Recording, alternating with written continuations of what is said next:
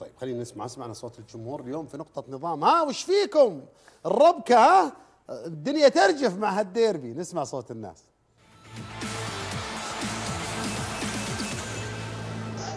مساء الخير يا أبو بدر. ودي تسأل أخ سلطان الحياني. هل دفاع الفريقين غطى على سوء حراس المرمى؟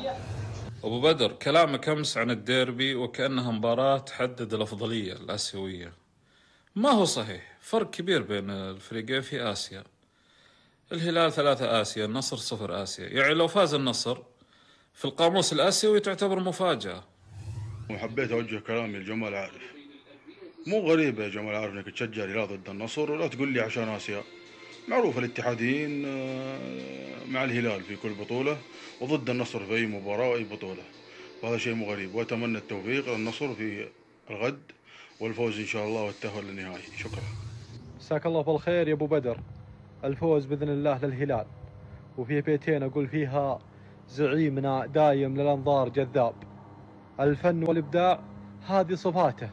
قد فرح الشعب السعودي من القاب اللي ما حققها النصر في حياته.